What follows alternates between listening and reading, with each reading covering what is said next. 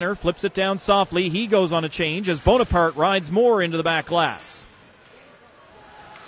Picked up by Murphy of the Crushers. Back to the line. McDougall's long shot is wide of the net. Hughes racing after it, but Dara's there first to put it back into the corner. Now Hughes on the puck again for Valley, and this time he'll get it out. Dara's there at center ice, and we got a fight in behind the play.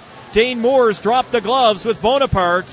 These two have had a good hard defensive shift at each other. Moore throws the first one and misses over the top. Now they've each got a piece of each other, and these guys are giving it. Moore's lost his helmet as they continue to scrap. Moore throwing uppercuts in there at the body. Big time scrap down here. Bonaparte still throwing rights and landing some good ones. Moore holding on. There's some uppercuts from him. And Moore scores the takedown.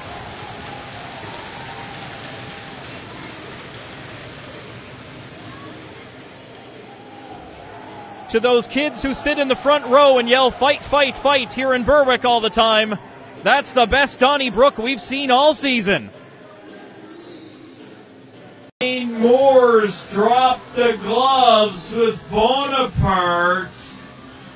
These two have had a good hard defensive shift at each other. Moore throws the first one and misses over the top. Now they've each got a piece of each other, and these guys are giving it.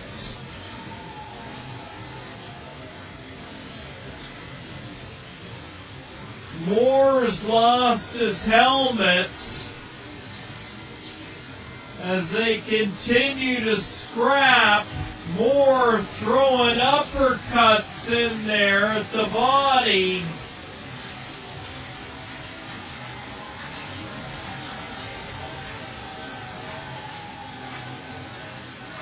Big time scrap down here. Bonaparte still throwing rights and landing some good ones. Moore holding on. There's some uppercuts from him. And Moore scores the takedown.